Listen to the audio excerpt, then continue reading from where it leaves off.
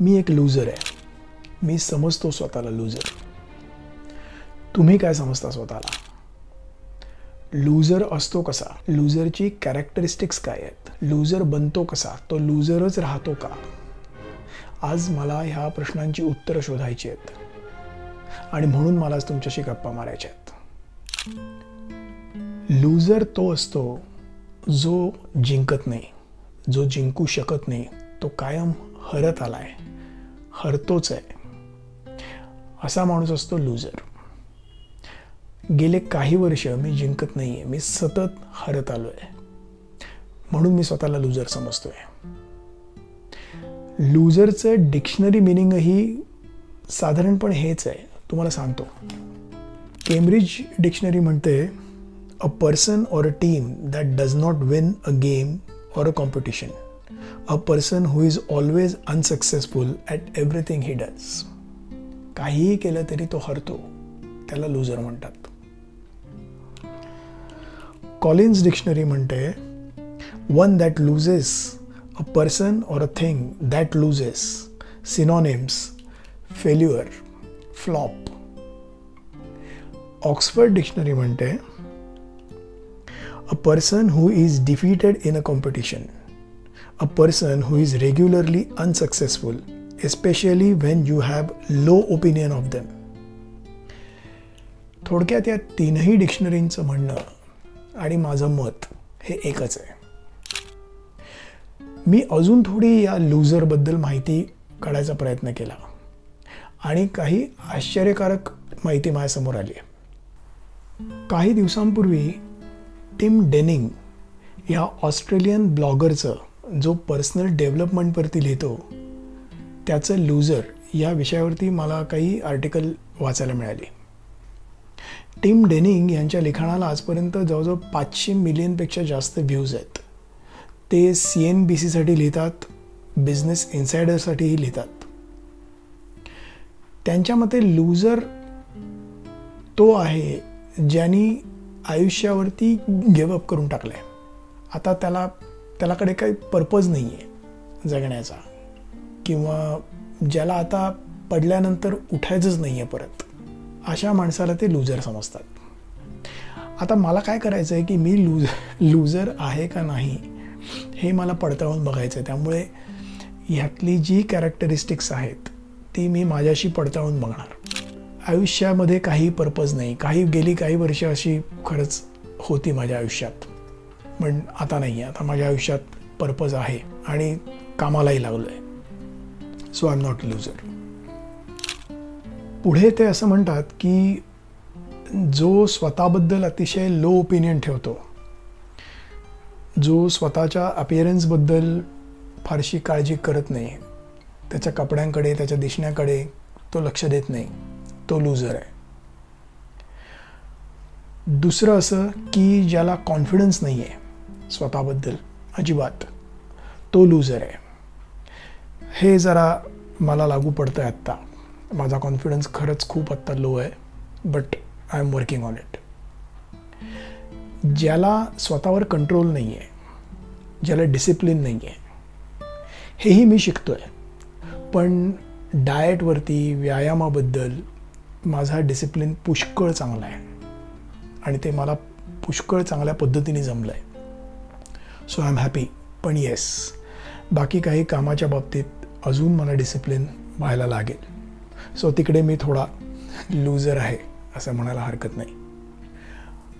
आणि तो माणूस जो प्रॉब्लेम्सवरच जास्त लक्ष केंद्रित करतो.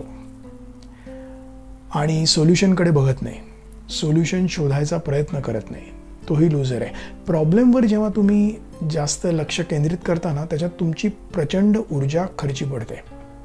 आणि तुमचा फोकस सगळा प्रॉब्लेमवर जातो. एक जाता जाता छोटं उदाहरण सायमन सायनेक हे जे विचारवंत आहेत त्यांनी सांगितलं होतं की तुम्ही ते स्कीइंग करणारे स्किअर्स बघितले असतील. प्रचंड वेगात ते डोंगराच्या माथ्यावरून पायथ्याकडे येत असतात. आणि मध्येच त्यांना काही क्लिप्सकडे मिळतात मध्येच झाडं मिळतात. पण तरी त्यांचा स्पीड कमी होत नाही. आणि ते अतिशय शिताफीनी ते सगळं चुकवत येतात. याचं कारण एकच की ते प्रॉब्लेम्सकडे बघतच नसतात. त्यांना फक्त सोल्युशन म्हणजे त्यांचा रस्ता दिसत असतो. आणि म्हणून तितक्या वेगात असतानाही अचूकपणे ते ते करू शकतात. सो ह्या चार गोष्टींपैकी डिसिप्लिन अजून मला वाढवायला लागेल. कॉन्फिडन्स अजून वाढवायला लागेल. पण बाकी दोन बाबतीत मी लुझर नाही आहे I am again a bit happy तुम्हीही हे ऐकता ऐकता स्वतःला पडताळून पहा. उगाच स्वतःला लुझर लुझर म्हणू नका. टीम डेनिंग साहेबांच्या मते जो माणूस जेलस असतो सतत ज्याला दुसऱ्यांबद्दल असूया वाटत असते तो लूझर आहे.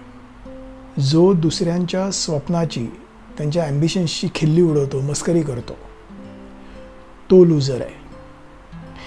आणि जो ज्याला जगाबद्दल काही प्रेम नाही वाटत तो सतत नावं ठेवत असतो लोकांना सतत कंप्लेंट करत असतो. तोही माणूस लूजर आहे.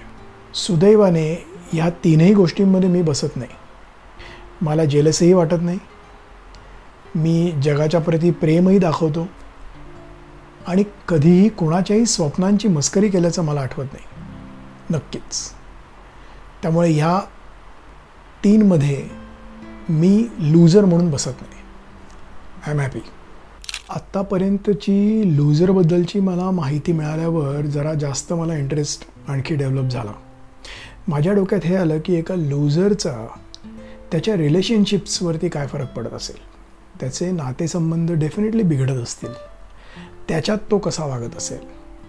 म्हणून मी यासाठी थोडी आणखी माहिती मिळवण्याचा प्रयत्न केला तर मला doctor Joe Carver P H D clinical psychology मधले अमेरिकन डॉक्टर आहेत त्यांची काही निरीक्षणं वाचायला मिळाली. ते म्हणतात लूजर जो असतो ना तो अतिशय कंट्रोलिंग असतो. नात्यामध्ये त्याला सतत डॉमिनेट करायचं असतं. त्याला त्याचंच म्हणणं खरं करायचं असतं. तसंच तो जाणून बुजून शारीरिक आणि मानसिक त्रास देतो देऊ शकतो. असाही माणूस लूजर आहे. असा माणूस की ज्याला सतत समोरच्यामध्ये चूक दिसतं आणि तो काहीतरी त्याला सारखं करेक्ट करायला जातो. एखादा असा माणूस ज्याचा फ्यूज कधी उडेल सांगता येणार नाही पटकन तो चिडेल भयंकर म्हणजे भीतीदायक त्याचं टेम्पर असू शकतं. असाही माणूस लूजर असतो आणि जो माणूस फारसा सेन्सिटिव्ह नसतो फार संवेदनाक्षम नसतो तो भावनेच्या बाबतीत. तोही लूजर आहे. थँकफुली या पाचही गोष्टी मला लागू होत नाही आहेत so रिलेशनशिप्सबद्दल I am not loser for sure so आपला विषय सुरुवात झाली होती की मी लूजर आहे.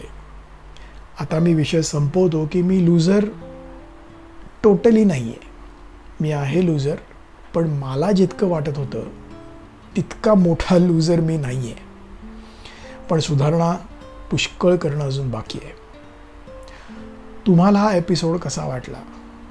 तुम्ही या नकारात्मक निगेटिव्ह लूजर आहे मी लूजर आहे या विचारात आहात का?